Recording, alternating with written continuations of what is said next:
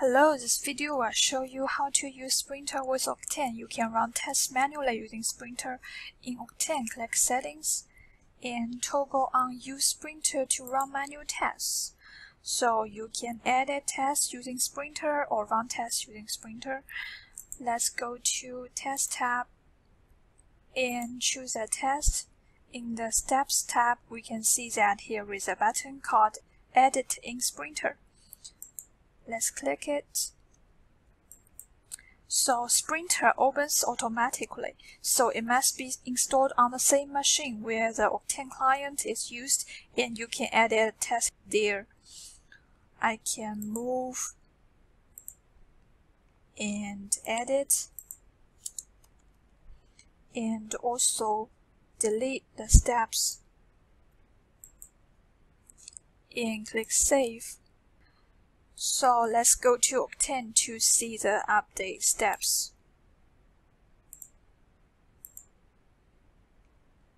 Yeah, the first step is deleted. So when you are ready to run a manual test, you can click Run in Octane. You can go to My Work and click Run here. And also click continue run here.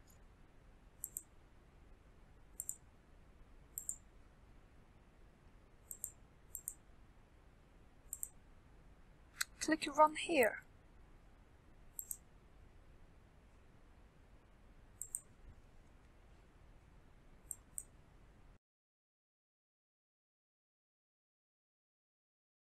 So this is Sprinter's run tab and I can edit the wrong name.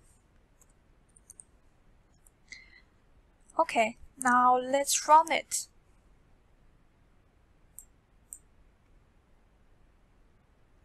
So this is a free view when you run.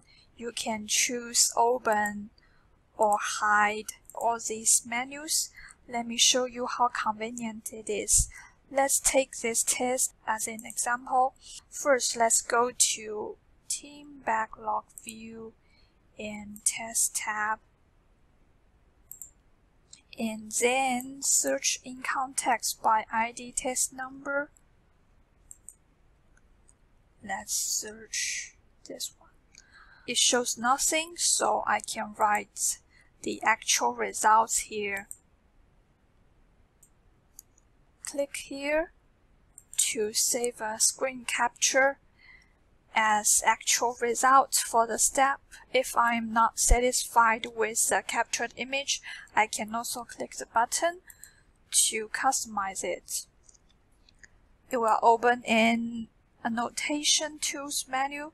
I can choose zoom in or zoom out and also draw a rectangle to highlight some area, and so on.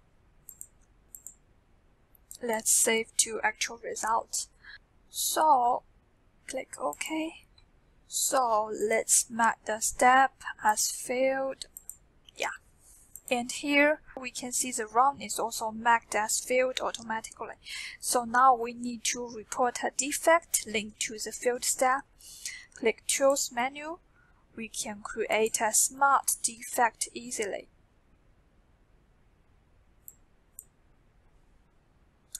Okay, so we can just set the defect name and click submit defect. So we will see the defect in Octane.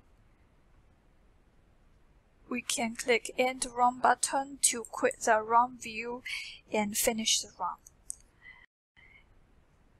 And also it is allowed to run multiple tests, so you can choose, let me show you you can choose run the selected tests or run the all tests here. Okay. So this is what I just typed in actual result for the step 3. Okay, let's go to Octane to check the run.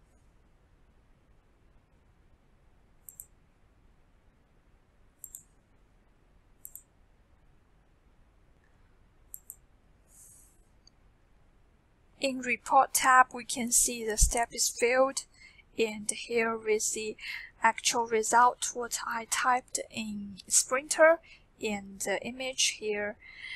Okay, let's see the defect.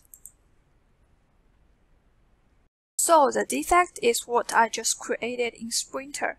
We can see the clear description of the defect and in the attachments tab of the defect, we can see the image what I captured when using Sprinter.